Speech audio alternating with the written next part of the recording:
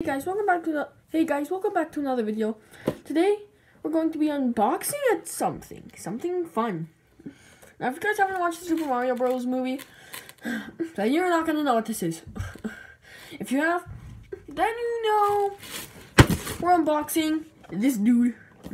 Now the packaging is very high quality. There's the front, side, back, other side, bottom. Now let's get into this thing. So it looks from what I've seen of the figure, very high quality. I've been wanting this for a long time, like a while now.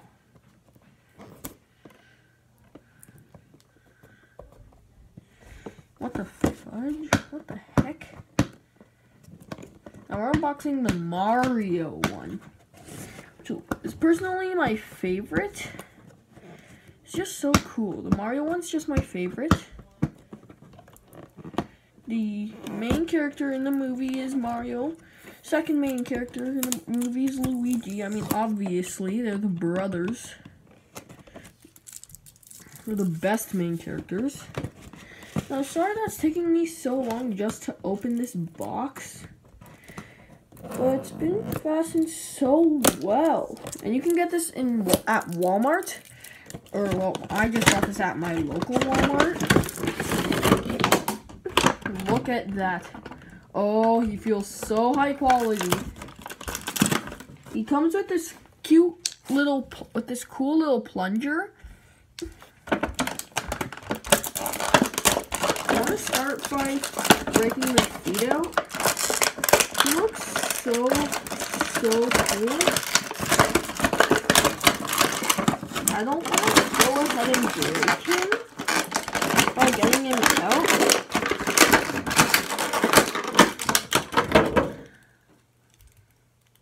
But wowee, he feels so high quality. This is the, the packaging is a 10 out of 10, and the figure, definite 10 out of 10, guys. Recom I recommend getting this character if you like Mario, if you like Super Mario games.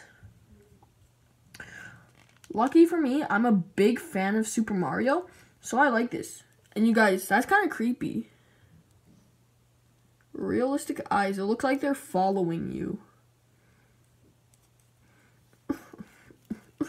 If you guys like think this Mario character is cool, like this video and subscribe to the channel.